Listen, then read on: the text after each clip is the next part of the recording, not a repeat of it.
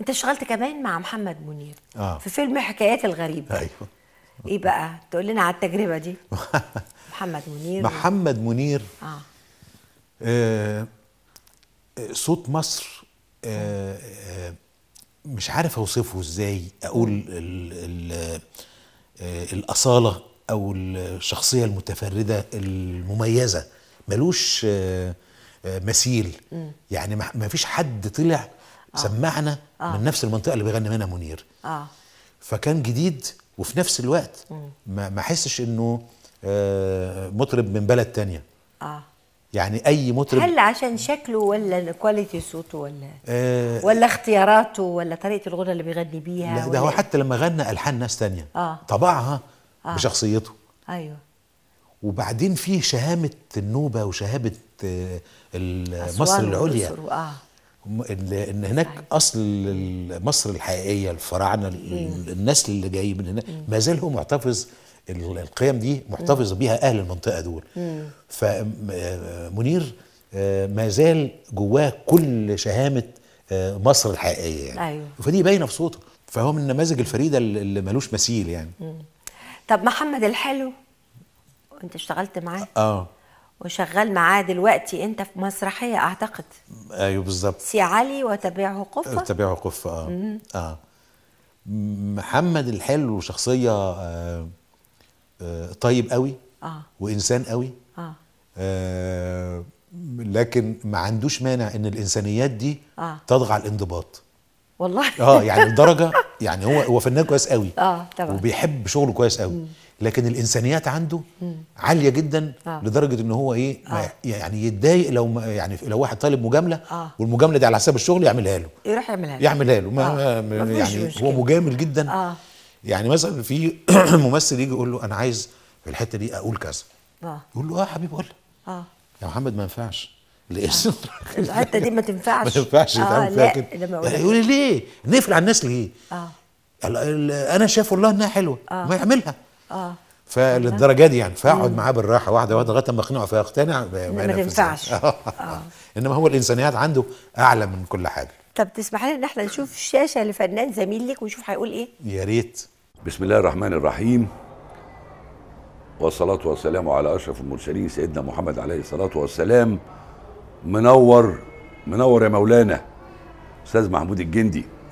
وعايز أشكر مدام صفاء أبو سعود اللي هي دايما بتجمعنا مع أحلى الناس وأحب الناس.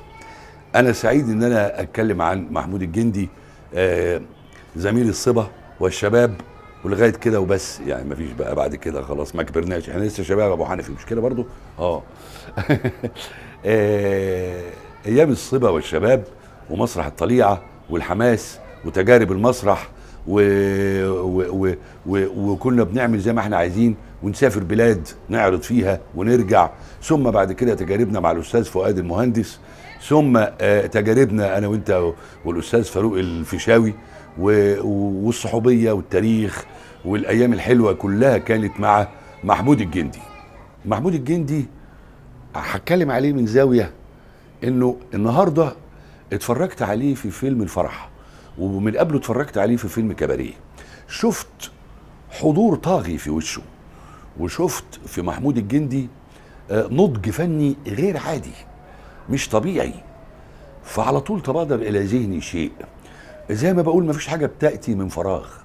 آه، محمود الجندي مش جاي من فراغ. محمود الجندي دارس في المعهد. محمود الجندي عنده تجربة طويلة في الجيش والحرب لغاية ما آه، حصل التحرير في 73 آه، محمود الجندي اتربى على أيدين شعراء. وعلى إيدين آه، ملحنين ومغنيين. محمود الجندي ممتلئ بتاريخ مصر وثقافة مصر و و و و وممتلئ شعر وممتلئ طرب وممتلئ موسيقى وممتلئ سياسة وممتلئ اجتماع. والآن محمود الجندي أيضا ممتلك طاقة روحية ودينية كبرى. اذا شيء طبيعي جدا جدا جدا إن نلاقي هذه العجنة الكبيرة الأشياء دي كلها معجونة داخل شخص لازم يطلع بيأدي أداء عبقري. هذه العجنة موجودة داخل محمود الجندي. آه، محمود الجندي آه، بما إنه صاحب تجربة طويلة مليانة وزاخرة وسريه أنا آه، عايز أكلمه في تأثير يقول لنا تأثير حياة الفنان الخاصة وثقافاته الخاصة إيه مدلولاتها على الشاشة؟ وكيف تفيد في فن التمثيل؟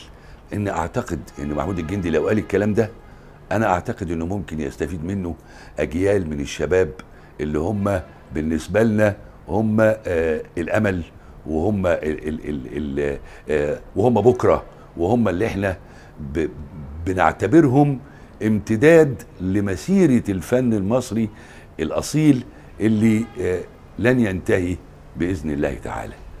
منور يا أبو حنفي واشكر لي مدام صفاء أبو السعود اللي خلتني آه، آخد الفرصة الكبيرة دي إن أنا أتلم عليك وأتكلم معاك شوية. مش عارف طبعا الكلام الكبير اللي قاله أحمد. يعني أرد بس أقول له اولا دعاء سيدنا أبو بكر اللهم اجعلني خيرا مما يظنون واغفر لي ما لا يعلمون. الكلام اللي قاله طبعا كلام كبير قوي ومش غريب إنه يطلع من حد زي أحمد لأن إحنا عشنا مع بعض فعلا فترة طويلة قوي فترة البدايات والت- والتكوين. آه. أما بالنسبة للرد على ال- سؤاله هو طبعا عارف آه، لكن هو عايز يسمع مننا التفسير طبعا. آه، حياة الشخصية للفنان وحياته ال- آه. الخاصة بتأثر قد إيه على شغله. أنت عارف حضرتك إن إن الفنان ممثل بالتحديد ثلاث مستويات. أيوه مستوى الموهبة الأولانية اللي بتيجي دي ملوش دعوه ما حدش له دخل فيها خالص. ربنا سبحانه ربنا سبحانه وتعالى. بيهب مخلوقه آه. معين حاجة وأنا بعتبر إن ده تكليف. الموهبة دي تكليف من ربنا. طبعا. وبعدين جزء ال- الثقافه ثقافته العامة. ثقافته العامة آه.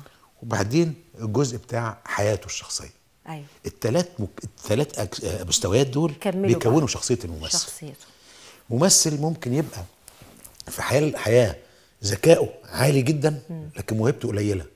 وتلاقيه مستمر وينجح. ممثل موهبته عالية قوي لكن ذكائه الاجتماعي ضعيف. آه.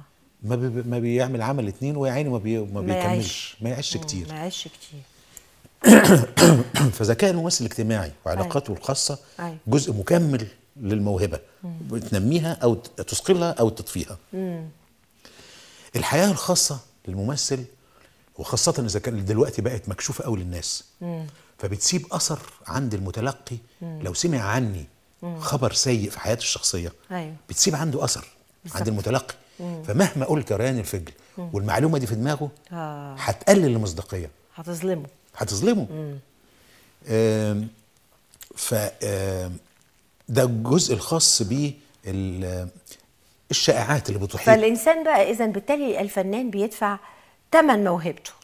يعني لازم يكون آه ثمن الشهرة. طبعا. يعني لازم يحافظ على حياته لازم يحافظ على اسمه لازم يحافظ على يعني ما يقدرش يبقى منطلق زيادة عن اللزوم بلا ضوابط ولا روابط ما ينفعش. ده ده ده حصار. آه. ده الشهرة دي بالنسبة له لازم يعتبرها حصار له. انت ادخل بيتك وعليك بابك مقفول اعمل ما يحلو لك. آه. إنما طول ما أنت بره الحدود دي وفي عين أخرى شايفاك فأنت محاصر وأنت مكلف آه. بموهبتك إنك آه. تحميها وتحمي آه مهنتك. لأنك أنت كمان مش بتأثر على نفسك بس أنت بتأثر على بقية المحيطين بيك.